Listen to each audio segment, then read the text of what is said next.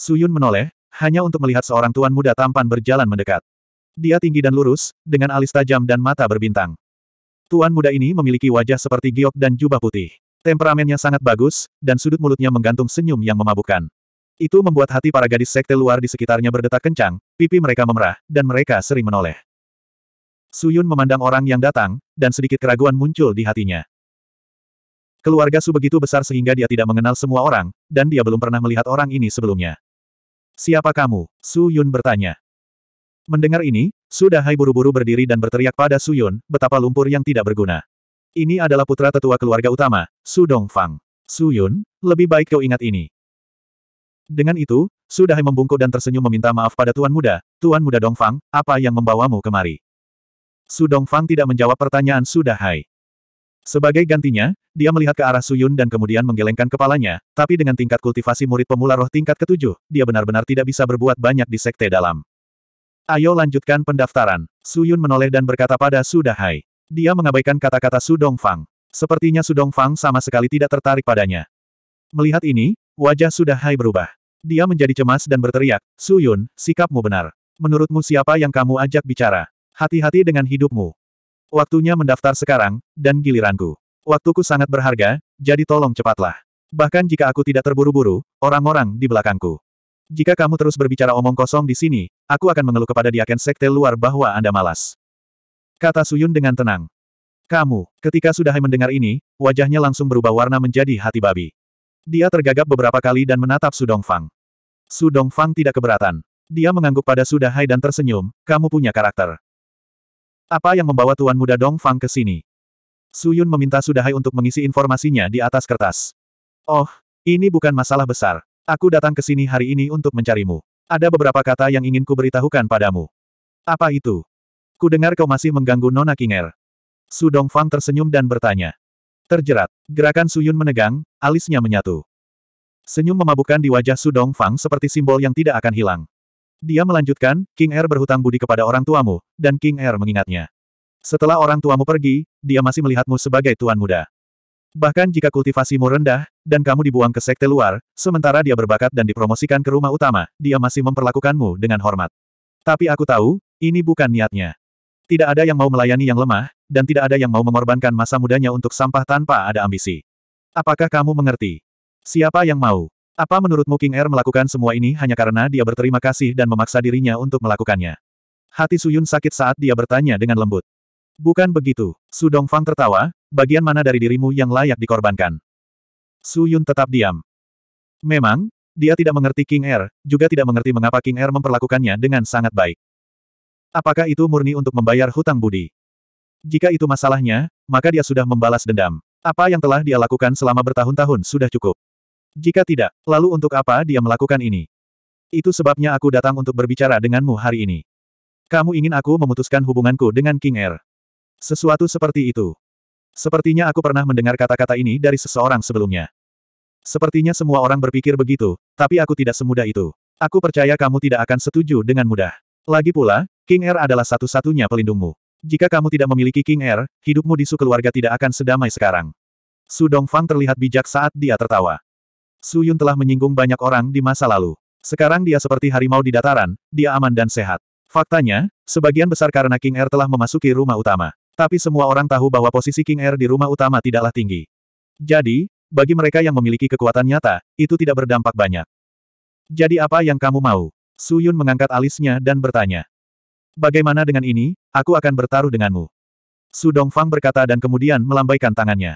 Tiba-tiba, seorang pemuda jangkung berjalan keluar dari belakangnya. Pria muda itu berusia sekitar 23 atau 24 tahun.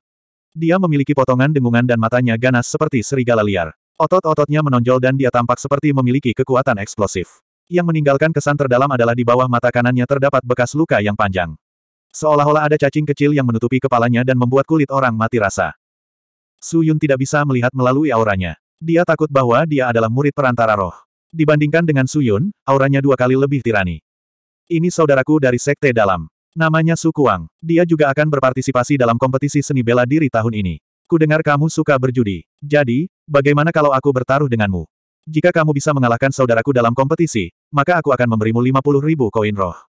Jika Anda kalah dari saudara saya dalam kompetisi, maka saya ingin Anda secara resmi menarik garis dengan King Air.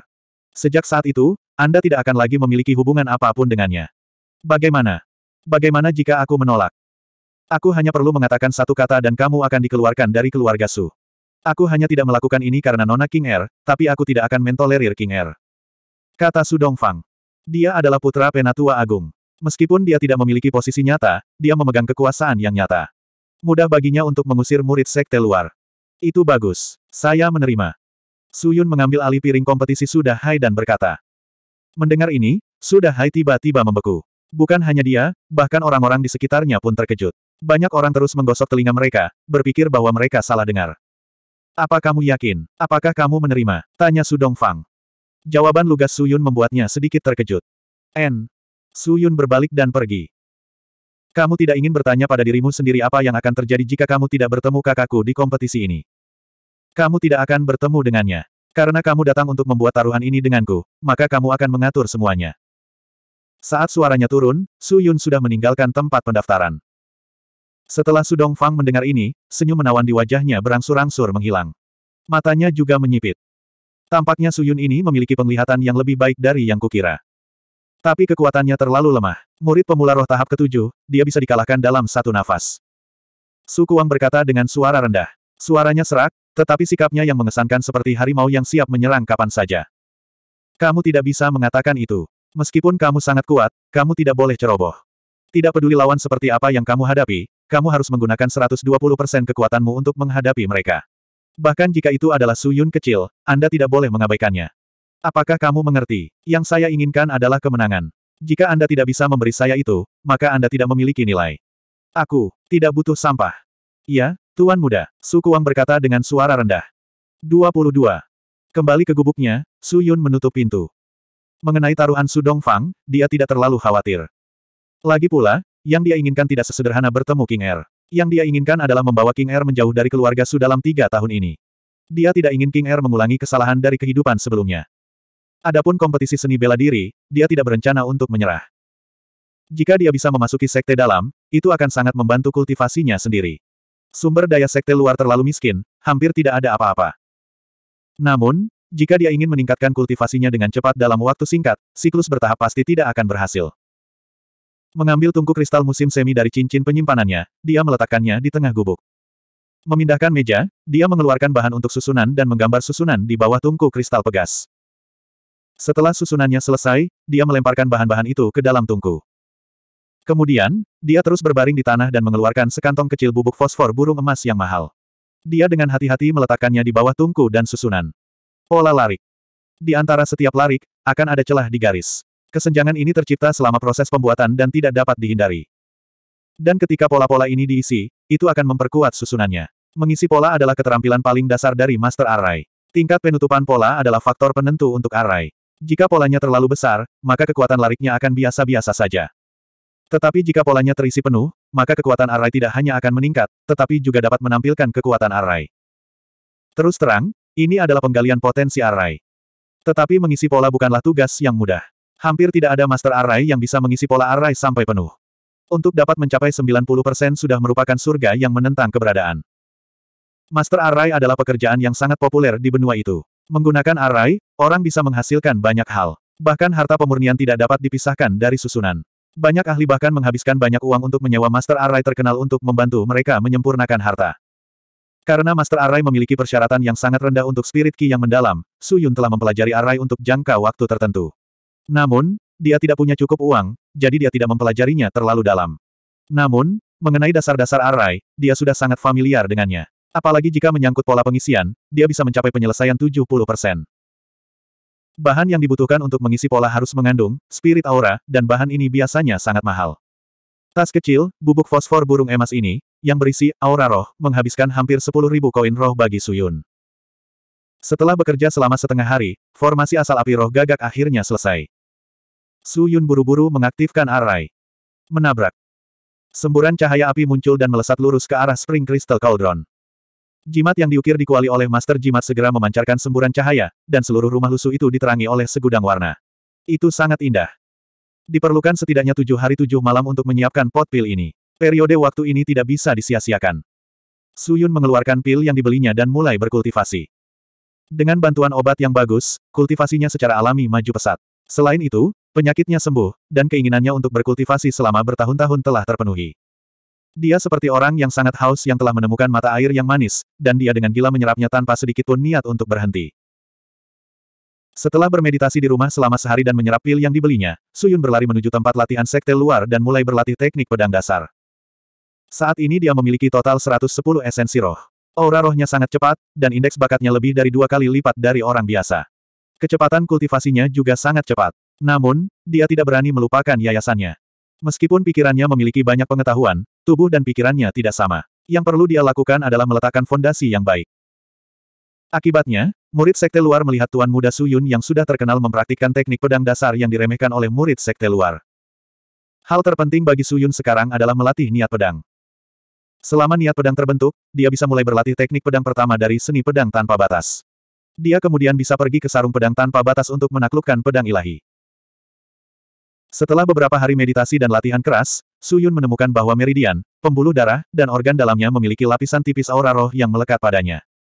Penguatan tubuh Ini adalah tanda menembus puncak tahap ketujuh dari alam roh pemula dan memasuki tahap kedelapan dari alam roh pemula. Su Yun sangat gembira. Esensi rohnya telah meningkat menjadi lebih dari 190, dan aura rohnya pulih dengan kecepatan yang mencengangkan. Dia tidak berani mengabaikan. Dia mengeluarkan teknik pemurnian tubuh yang mendalam dan terus memperkuat aura tubuh dan jiwanya. Sepuluh hari kemudian, pil pertama Spring Crystal Cauldron keluar. Aroma memabukkan memenuhi udara. Setelah memotong arai asal api roh hitam, Suyun membuka kuali dan mengeluarkan lima manik-manik berwarna berbeda. Lima pil hati ilahi. Pembukaan meridian pil hijau. Sirkulasi darah pil api. Jantung pil merah. Nutrisi tulang pil ungu. Konsolidasi jiwa pil hitam.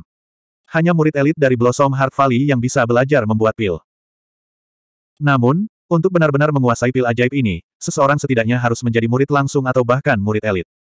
Kelima pil itu lengkap. Hal selanjutnya yang harus dilakukan adalah menyerap pil yang tiada taraf ini secara menyeluruh. Kelima pil itu hanya tersedia di Blossom Heart Valley. Tentu saja, bukan itu masalahnya. Pembukaan meridian pil hijau pertama, menghasilkan lebih banyak aura roh. Sekali lagi peredaran darah flame pil, meregangkan pembuluh darah. Darah adalah bagian terpenting dari tubuh manusia. Kemudian konsolidasi jantung pil merah, menenangkan pikiran. Konsolidasi jantung pil ungu, memperluas ruang di dalam tubuh. Terakhir, ada pil hitam. Ini adalah yang paling penting dari lima pil hebat. Untuk empat pil lainnya, pil hitam adalah sentuhan akhir. Tidak hanya dapat menstabilkan jiwa, tetapi juga dapat mengumpulkan pikiran seseorang dan meningkatkan kekuatan dan kinerja darah, tulang, tendon, dan organ seseorang. Itu bisa menghaluskan empat pil lainnya. Suyun melepas Spring Crystal Cauldron dan terus mengeluarkan material dari cincin penyimpanannya. Dia membuat beberapa perubahan pada Black Spirit Fire Origin Array. Dua jam kemudian, array asal api roh hitam yang digunakan untuk memurnikan pil segera berubah menjadi array pikiran jernih yang biasa digunakan oleh pembudidaya roh. Langkah selanjutnya adalah mengisi pola. Kemudian dia duduk dan meminum pil itu. Pencernaan. Dia mengikuti nyanyian menemonik untuk mencerna pil lima dewa tertinggi. Dia duduk seperti ini selama tujuh hari. Setelah tujuh hari, Su Yun fokus pada tubuhnya. Aura roh dalam tubuhnya tidak ada habisnya dan berlimpah tak tertandingi. Mata rohnya telah menembus 200, mencapai jumlah yang mencengangkan yaitu 230. Ini mendekati jumlah murid pemula roh tingkat ke-10. Terutama fisiknya, bahkan lebih kuat. Setelah mencerna pil, seluruh tubuh Su Yun seperti terlahir kembali. Matanya cerah dan penuh semangat. Alisnya seperti pedang, tulangnya kuat, dan tubuhnya lebar. Dibandingkan dengan penampilannya yang sakit-sakitan sebelumnya, dia seperti orang yang sama sekali berbeda. Namun, mencerna saja tidak cukup. Setelah dicerna, dia akan sehat. Melalui kultivasi, dia akan dapat menyimpan benda-benda yang dicerna di dalam tubuhnya dan mengintegrasikannya ke dalam tubuhnya sendiri.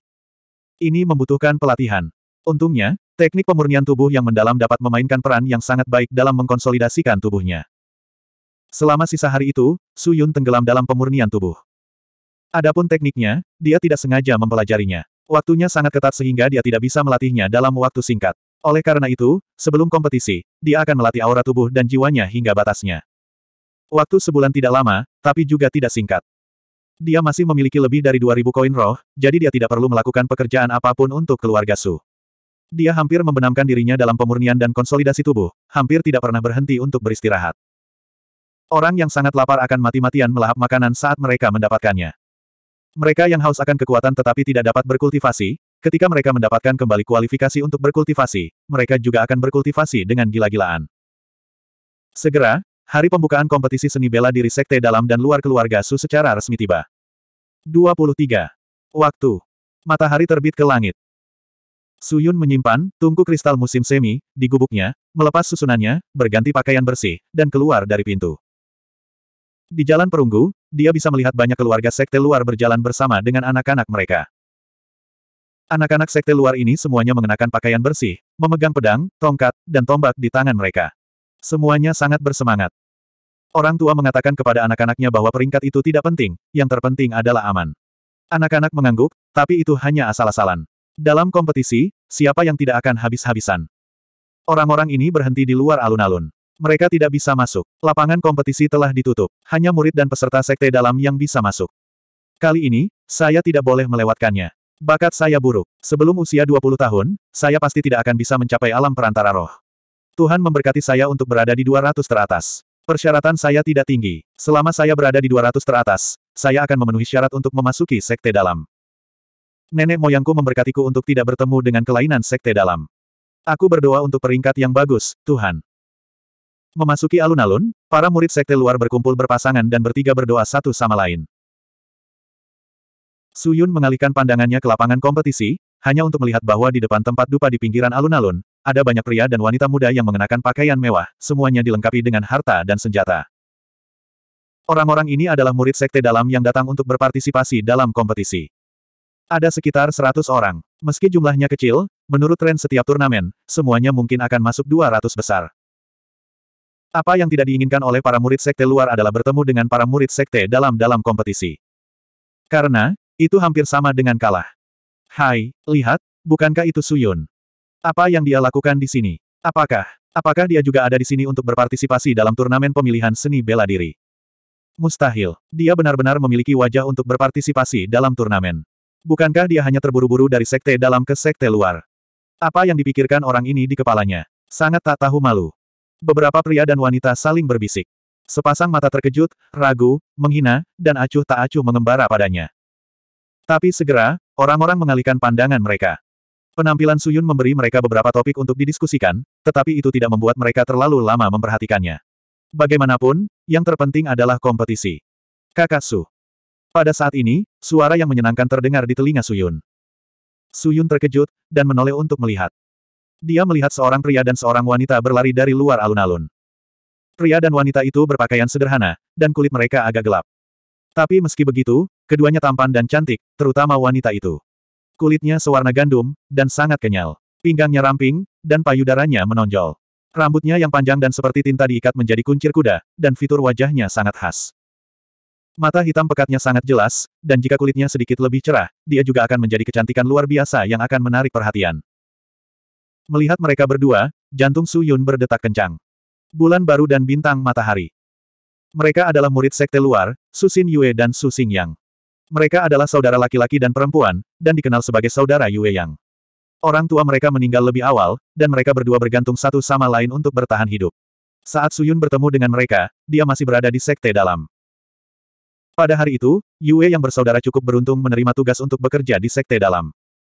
Bekerja di sekte dalam adalah pekerjaan yang diperebutkan oleh para murid sekte luar karena tidak hanya mudah dan santai, tetapi juga menghasilkan banyak koin roh. Namun, keberuntungan tidak bertahan selamanya. Su Xin Yue secara tidak sengaja kehilangan jepit rambut roh berukir dari perbendaharaan pelayan. Dikatakan bahwa jepit rambut ini adalah hadiah dari pelayan kepada istrinya, dan untuk sementara disimpan di perbendaharaan. Meskipun penyelidikan kemudian menemukan bahwa jepit rambut itu dicuri oleh seorang pelayan di kantor pemerintah, orang-orang tidak mengetahuinya dan menyalahkan Su Xin Yue. Su Xin Yue benar-benar ketakutan, dan pelayan itu sangat marah. Dia segera ingin mengeksekusi Su Xin Yue. Su Xing yang terus-menerus bersujud memohon belas kasihan, tetapi tidak berhasil. Dalam keputusasaan, Su Yun muncul, dan tidak ada yang tahu mengapa dia membuka mulutnya untuk memohon belas kasihan. Saat itu, Su Yun baru kehilangan bakatnya selama tiga tahun, sehingga banyak orang tidak kehilangan kepercayaan padanya. Pramugari tidak berani menyinggung perasaannya, jadi dia membiarkan mereka berdua pergi. Nyatanya, Su Yun sedang dalam suasana hati yang baik saat itu. Pada hari itu, dia secara tidak sengaja mengolah sedikit kekuatan roh. Dia mengira bakatnya telah pulih, jadi dia sangat bahagia. Oleh karena itu, ketika dia melewati kantor pramugari, dia mengucapkan beberapa patah kata dan menyelamatkan kedua bersaudara itu. Siapa yang tahu bahwa pada akhirnya, dia bahagia untuk apa-apa. Bakatnya belum pulih. Namun, kedua bersaudara itu mengukir kebaikan ini di hati mereka. Su Yun ingat bahwa ketika dia diusir dari sekte luar, mereka sering merawatnya. Su Yun tidak bekerja dan hanya menunggu King Air membantunya. Namun, uang King Air terbatas. Ketika dia kehabisan uang dan tidak punya makanan untuk dimakan, Su Xin Yue akan membawakan makanan enak ke gubuk. Setelah Su Yun meninggalkan keluarga Su, dia tidak pernah melihat keduanya lagi. Melihat gadis manis dan laki-laki tampan itu, hati Su Yun sedikit berdesir.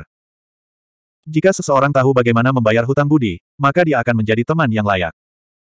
Gadis itu dengan tidak sabar berlari dan berhenti di depan Suyun. Dia mengulurkan mata hitamnya dan melihat ke atas dan ke bawah. Senyum cerah muncul di wajahnya, kakak Suyun, kami lega kamu baik-baik saja. Apa masalahnya? Tentu saja kamu yang bergegas kembali dari sekte dalam. Oh, itu masalahnya. Kami menerima tugas dari sekte luar dan pergi bekerja selama sebulan. Kemarin, kami bergegas kembali. Aku tidak menyangka ini akan terjadi. Terjadi. Kami ingin pergi dan melihat Anda, tetapi setiap kali kami mengetuk pintu Anda, Anda tidak membukanya. Tetapi melihat kakak Su baik-baik saja, kami lega. Su Xin Yue tertawa. Apakah kamu khawatir sesuatu akan terjadi padaku? Su Yun bertanya. Xin Yue ragu-ragu dan tidak tahu bagaimana menjawabnya. Iya, kakak Su, meskipun mungkin membuatmu tidak nyaman, kami benar-benar mengkhawatirkanmu.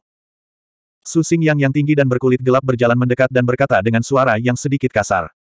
Suara Xing yang sangat kasar. Dengan perawakannya yang tinggi dan ototnya yang tebal, ia memiliki cita rasa pria maco. Xin Yue takut menyebutkan Su Yun diusir dari sekte luar akan membuatnya tidak nyaman, jadi dia ragu-ragu. Namun, kakaknya Xing Yang adalah orang yang terus terang. Kata-kata itu melompat keluar dari mulutnya. Xin Yue dengan marah memelototi Xing Yang. Su Yun tersenyum, apakah ini hanya masalah kecil? Haha, itu bukan masalah besar. Anda tidak perlu khawatir. Xin Yue melihat ini dan segera mengganti topik, kakak Suyun, apakah kamu juga akan berpartisipasi dalam turnamen? Iya. Tapi kamu, bukankah kamu hanya murid pemula roh tahap ke-6? Xin Yue berkata dengan hati-hati. Iya. Kakak laki-laki Suyun, murid pemula roh tahap ke-6 yang berpartisipasi dalam turnamen ini hanya mencari pemukulan. Saya pikir Anda harus segera menyerah dari turnamen dan pulang. Xing yang berkata dengan jujur. Bodoh, apa yang kamu bicarakan? Xin Yue mau tidak mau menendang lutut Xing Yang. Sing yang segera mencengkeram lututnya kesakitan. Aduh, aduh, aduh, aduh. Setelah beberapa saat, dia sadar kembali dan buru-buru tersenyum. Kakak Suyun, aku tidak bermaksud begitu. Maksudku, uh, ini. Suyun mengerti bahwa Sing yang melakukan ini untuk kebaikannya sendiri, jadi dia tidak marah dan terus terang berkata, aku bukan lagi murid pemula roh tahap ke-6. Bukan murid pemula roh tingkat 6. Saudara laki-laki dan perempuan itu saling memandang, lalu memejamkan mata dan merasakan aura roh memancar dari tubuh Suyun. Su Yun sengaja menyembunyikan auranya dan melepaskannya. Ketika keduanya merasakan aura itu, mereka tiba-tiba terkejut. Aura roh yang begitu kuat. Sing yang terdiam. Kakak Su Yun, kamu. Kamu akhirnya berhasil menerobos. Xin Yue menangis karena gembira, seolah-olah dialah yang menerobos. Tampaknya kamu bukan hanya murid pemula roh tingkat ketujuh. Aku khawatir kamu sama dengan kami. Murid pemula roh tingkat delapan. Hebat, kakak Su Yun, kultivasi Anda akhirnya pulih. Melihat wajah saudara dan saudari yang tersenyum, hati Su Yun tidak bisa menahan perasaan hangat. Mungkin selain King Er, ada orang lain di dunia ini yang peduli padanya. Dengan kultivasi tahap ke-8, kita harus berusaha untuk masuk ke 200 teratas dan menjadi murid sekte dalam keluarga Su. Kakak Su Yun, kamu harus bekerja keras. Yakinlah, Kak, aku pasti akan masuk 200 teratas. Sing yang mengepalkan tinjunya dan bersumpah. Saya harap kita tidak bertemu dengan murid sekte dalam. Tuhan, Jangan sampai kita sial. Xin Yue menutup matanya dan diam-diam berdoa. Sial. Saat ini, suara keras datang dari tengah alun-alun. Semua orang di alun-alun mengalihkan pandangan mereka ke tengah alun-alun. 24. Di area peristirahatan Sekte Dalam. Semua murid Sekte Dalam berdiri dan berjalan keluar dari area istirahat. Sejumlah besar cahaya biru keluar dari alun-alun. Cahaya berubah menjadi bata ringan dan pagar ringan dan dengan cepat disatukan. Setelah beberapa saat, platform pertempuran besar terbentuk. Platform pertempuran itu dekat satu sama lain. Ada lebih dari 300 dari mereka. Lagi pula, ada hampir 10.000 orang yang berpartisipasi dalam kompetisi. Selain itu, setengah dari kontestan harus disaring dalam waktu tiga hari. Secara alami, akan ada lebih banyak duel. Semuanya, mundur 5 meter dari platform pertempuran. Saat ini, seorang pria kekar dengan wajah gelap dan tampak garang berdiri dari tribun dan berteriak keras. Murid sekte luar segera mundur serempak, sementara murid sekte dalam dengan santai berjalan keluar. Area platform pertempuran di tengah alun-alun segera dikosongkan. Selanjutnya, mari kita sambut diaken militer sekte dalam, Tuan Sukiang. Mari kita sambut guru sekte dalam, Master Subai. Mari kita sambut. Pria kekar itu meneriakkan namanya berulang kali. Kemudian, sekelompok orang berpakaian mewah masuk melalui celah di sudut alun-alun. Ini adalah manajemen puncak sekte dalam, masa depan Susilong. Mereka berjalan ke peron dan duduk di kursi yang nyaman. Mereka makan buah roh dan menonton kompetisi. Para petugas mengipasi mereka dengan payung. Mereka santai dan nyaman. Kekuatan ditentukan status, dan status ditentukan pengobatan. Semua orang hadir. Wajah pria itu memerah karena berteriak, tapi dia masih memiliki satu kalimat terakhir. Sejumlah besar orang memandangnya. Suara yang dalam dan serak bergema di seluruh alun-alun.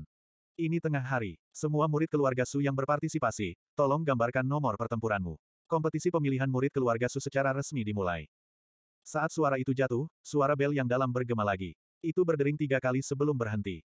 Seluruh alun-alun mendidih. Murid sekte dalam dan luar berbaris dan pergi ke titik penarikan nomor pertempuran untuk menggambar nomor pertempuran mereka sendiri. Setelah mendapatkan nomor pertempuran, mereka akan mengaktifkan mini array pada nomor pertempuran dan memasangkannya dengan diri mereka sendiri. Kemudian, mereka bisa beristirahat dan bersiap. Platform pertempuran akan secara acak menggambar dua nomor pertempuran yang berbeda. Ada mata ki di dalam platform pertempuran. Ketika nomor pertempuran ditentukan, Mataki akan melepaskan kiroh mendalam yang berwarna-warni untuk mengumumkan nomor pertempuran. Kontestan dengan nomor pertempuran kemudian akan pergi ke platform pertempuran dengan nomor pertempuran mereka. Suyun menggambar nomor pertempuran dan melihatnya, 998. Ronde pertama. Platform pertempuran pertama, nomor 1795 vs nomor 821. C. Jadi ini hanya murid pemula roh tahap ke-6, membosankan. Pa, Pa, pa. Ah, ceritan yang mengental darah terdengar. Sial. Platform pertempuran pertama, kontestan nomor 1795 menang. Platform pertempuran kedua, nomor 417 vs nomor 2777. Platform formasi ketiga, nomor 5129 versus nomor 3783. Platform formasi keempat. Satu persatu, nomor muncul di atas platform. Para kontestan melakukan pemanasan di luar peron sambil menatap peron dengan gugup. Begitu nomor mereka muncul di platform, nomor kompetisi akan berubah menjadi prompt merah. Su Xin Yue dan Su Xing yang bertemu satu sama lain. Di babak pertama, mereka ditarik. Keduanya berpamitan dan pergi. Su Yun memandang mereka berdua dan melihat bahwa keterampilan mereka tidak buruk. Gerakan mereka sangat berpengalaman. Dalam waktu kurang dari waktu yang dibutuhkan untuk membakar sebatang dupa, mereka telah mengalahkan lawan mereka. Di sekte luar, Xin Yue dan Xing yang dianggap pekerja keras. Mereka telah kehilangan orang tua mereka sejak kecil dan telah diintimidasi. Mereka ingin menjadi lebih kuat dan menjalani kehidupan yang baik. Kali ini, mereka menjadi yang pertama mengikuti kompetisi seleksi tiga tahunan. Mungkin menjadi murid pemula roh tingkat delapan tidak dianggap kuat, tetapi di sekte luar, mereka sudah dianggap luar biasa. Keduanya turun dari peron dan berjalan menuju Suyun di bawah tatapan kagum dan pemujaan orang-orang di sekitarnya. Kakak Suyun, bagaimana? Apakah saya sangat kuat? Kata Xin Yue sambil tersenyum. Su Yun mengangguk dan tersenyum. Ada begitu banyak platform. Saya khawatir di babak kedua, giliran saudara Su Yun. Anda harus melakukan yang terbaik. Xing yang berkata. Semuanya, ayo lakukan yang terbaik. N. Mereka bertiga berkata. Pada saat ini, ada keributan di kerumunan. Su Yun melihat ke arah suara itu. Dia hanya melihat seseorang yang mengenakan baju besi hijau dan kuning berjalan ke arahnya. Orang ini tinggi dan lurus dengan batang hidung yang tinggi dan sepasang mata yang dalam. Matanya memancarkan jejak ketajaman, terutama sikapnya yang mengesankan. Itu menimbulkan perasaan bahwa tidak ada yang akan mendekatinya. Namun sebaliknya, orang ini dikelilingi oleh banyak murid sekte luar. Ini Sunan Ye. Xin Yue berkata. Siapa Sunan Ye? Su Yun bertanya. Kakak Su Yun, kamu bahkan tidak tahu siapa Sunan Ye. Bahkan aku mengenalnya. Xing yang berkata dengan heran, dia adalah jenius kedua sekte luar kita. Jenius kedua. Iya, ku dengar tempat pertama adalah Qian Ge. Xing yang berkata. Tapi di detik berikutnya, aura roh yang ganas dan sombong menyerbu ke arahnya. Wajah Xing yang sedikit berubah. Seluruh tubuhnya tiba-tiba gemetar dan dia kesulitan bernapas. Dia jatuh sakit. Melihat ini, alis Su Yun berkerut. Dia diam-diam mengulurkan tangan dan meraih pakaian Xing Yang, menariknya kembali. Xing Yang dibebaskan dari medan aura. Dia terengah-engah, berkeringat, dan langsung berbaring di tanah, terengah-engah. Untuk dapat memaksa Xing Yang, yang merupakan murid pemula roh tingkat ke-8, ke dalam keadaan seperti itu, orang ini setidaknya harus menjadi murid pemula roh tingkat ke-10. Suyun melihat ke depan, hanya untuk melihat bahwa sekelompok orang tanpa sadar telah berjalan mendekat. Saudaraku, apakah kamu baik-baik saja? Xin Yue dengan cepat membantu Xing Yang dan bertanya dengan cemas. Aku, aku baik-baik saja. Xing Yang tersentak. Tapi tidak menunggunya berdiri, seseorang berdiri di depannya. Orang ini adalah Sunan Ye, yang menggunakan auranya untuk menindas Xing Yang. Xing Yang tertegun. Kamu bilang, siapa yang terbaik kedua di sekte luar? Siapa? Siapa yang terbaik pertama di sekte luar? Sunan Ye bertanya tanpa ekspresi. Matanya sangat dingin, seolah ingin menelan Xing Yang hidup-hidup. Apa? Dot apa dulu? Apa yang kedua? Xing Yang bingung. Detik berikutnya, dia melihat tinju besar menghantam dadanya. Roh mendalam yang ganas dan sombong seperti penutup yang menutupi bagian atas kepalan tangannya, menghasilkan kekuatan ledakan yang mencengangkan yang membuat kulit dan daging orang bergetar. Tidak ada yang menyangka Sunan Ye tiba-tiba menyerang, termasuk Su Xing Yang. Tapi pada saat itu, sebuah tangan tiba-tiba keluar dari samping dan dengan cepat mencengkeram pergelangan tangan tinju itu seperti kilat, menghentikannya. Hah! Sunan Ye terkejut dan melihat ke samping. Dia melihat pemilik tangan itu telah melepaskan pergelangan tangannya dan dengan cepat menariknya kembali. Kecepatannya sangat cepat, seperti percikan api. Para pengamat tidak punya waktu untuk bereaksi. Teman saya memiliki temperamen yang lugas. Jika dia menyinggung Anda, saya harap Anda tidak akan mengingatnya. Kata Suyun. Siapa kamu? Sunanya menyipitkan matanya dan berbisik. Oh, bukankah ini limbah Suyun? Kamu benar-benar berani menantang bos Ye kami, apakah kamu tidak ingin hidup? Pemborosan dari sekte dalam memiliki wajah untuk berdiri di sini. Apakah kamu enggan meninggalkan sekte dalam? Tetapi jika Anda ingin memasuki sekte dalam melalui kompetisi ini, sekte dalam mungkin tidak menginginkan Anda. Selain itu, pemborosan seperti Anda tidak bisa masuk ke sekte dalam, jadi jangan khawatir. Pengikut Sunan Ye mengejeknya. Mereka berdiri di belakangnya dan tidak melihat Su Yun bertarung, jadi mereka tidak tahu kedalamannya. Tapi Sunan Ye terkejut, kamu adalah Su Yun. Su Yun tidak berbicara. Ini sedikit berbeda dari rumor. Aku sudah mengatakan itu hanya rumor. Bagaimana kamu bisa mempercayainya? Tidak masalah. Sunan Ye dengan dingin berkata, masalah ini tidak akan berakhir seperti ini. Aku akan membuktikan siapa yang pertama dan kedua di sekte luar. Tidak nyaman untuk bertarung di sini. Saya harap Anda bisa bertahan sebentar dan melawan saya. Saya akan memberitahu Anda apa kekuatan sebenarnya. Setelah itu, Sunan Ye berbalik dan pergi. Sekelompok orang bubar. 25. Sing yang masih menggaruk kepalanya. Kakak Suyun, ada apa dengannya? Saya tidak punya permusuhan dengannya. Hei, hei, kenapa dia mencari masalah denganku? Itu semua karena mulut besarmu. Goblok sia. Susin Yue dengan marah berkata, kultivasi Sunan Ye tinggi, dan pendengarannya lebih sensitif daripada orang kebanyakan. Rumor mengatakan bahwa dia adalah orang yang berpikiran sempit dan berpikiran sempit. Selain itu, dia selalu tidak yakin dengan Qian Ge. Dia pasti mendengar semua yang kamu katakan. Untungnya, kakak Suyun angkat bicara untukmu kali ini. Kalau tidak, konsekuensinya akan mengerikan.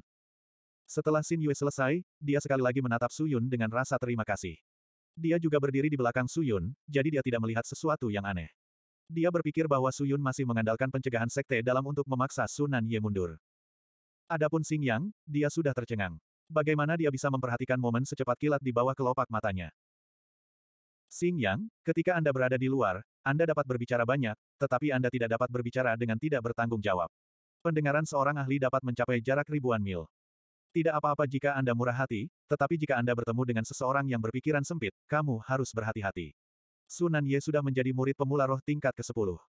Kalian bukan lawan mereka, tapi saya harap lawan berikutnya tidak akan bertemu dengannya, jika tidak memasuki sekte dalam tidak ada harapan. Su Yun berkata dengan serius. Xing Yang dan Xin Yue mengangguk. Semoga berhasil dan berusahalah untuk memasuki sekte dalam. Su Yun melihat keduanya sedikit gugup dan segera menghibur mereka. Hua. Saat itu, Nomor kompetisi di tangan Su Yun tiba-tiba menyala, dan lampu merah menyala. Kakak Su Yun, giliranmu. Su Xinyu berkata dengan penuh semangat. N. Su Yun mengangguk, tatapannya menyapu, dan berbalik untuk pergi. Lakukan yang terbaik, saudara-saudara Yue yang bersorak. Tunggu aku. Sebuah kata ringan melayang di atas. Sial. Platform 87, kontestan nomor 998 versus kontestan nomor 173. Wasit di bawah panggung berteriak. Kemudian, dua sosok berjalan ke peron. Lihat, lihat, bukankah itu Suyun? Suyun, sampah yang dibuang dari sekte dalam ke sekte luar. Itu dia. Siapa yang sangat beruntung bertemu dengannya sebagai lawan? Hampir tidak perlu bertarung lagi, kan? Mendesah. Mengapa saya belum pernah bertemu orang ini sebelumnya? Lawan saya sebelumnya menghabiskan banyak kiroh mendalam saya, dan kekuatan fisik saya terkuras. Saya tidak tahu apakah saya bisa memenangkan putaran kedua. Mari kita serahkan pada takdir. Murid-murid yang menonton dari sisi platform ke-87 mulai berdiskusi. Karena Suyun, ada banyak orang di sekitar peron. Surga benar-benar membantuku. Aku tidak menyangka akan bertemu sampah sepertimu di duel pertamaku. Bagus. Bagus sekali. Bagus sekali. Hahaha. Pria berjubah kuning di seberang peron melebarkan matanya. Setelah melihat lawannya dengan jelas, dia langsung liar kegirangan dan tertawa terbahak-bahak. Su Yun. Hei, kataku, sudah, kamu tidak bisa memenangkan ini. Lalu kamu bisa pergi makan. Orang-orang di bawah tertawa terbahak-bahak. Jika aku benar-benar tidak bisa menang, aku akan makan kotoran di depan semua orang. Pria bernama, Suda, itu menjilat bibirnya yang pecah-pecah, lalu tersenyum pada Suyun, aku tidak akan terlalu kejam nanti. Hehe, Suyun, kamu adalah jackpotku, aku pasti akan melayanimu dengan baik. Sial. Pada saat ini, suara garing bergema di udara. Kemudian, wasit memanggil. Duel platform ke-87 secara resmi dimulai. Setelah pengumuman itu, pria itu langsung menggelengkan kepalanya dan berjalan menuju Suyun. Dia tidak mengambil sikap defensif, juga tidak menggunakan kiroh mendalamnya. Ini sudah merupakan tingkat penghinaan yang ekstrim. Sepertinya dia sudah berpikir bahwa kemenangan ada dalam genggamannya. Tapi saat ini, Suyun bergerak. Dia maju selangkah. Dia mengaktifkan kekuatannya.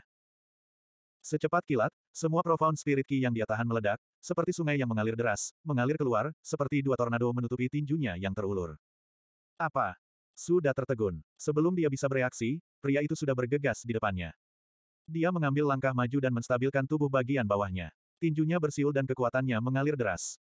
Bang! Dada pria itu dipukul. Dia tiba-tiba terbang keluar dan menabrak penghalang isolasi di tepi peron. Dia jatuh ke tanah dan berguling beberapa kali. Kemudian, dia berhenti bergerak dan sepertinya pingsan. Sial.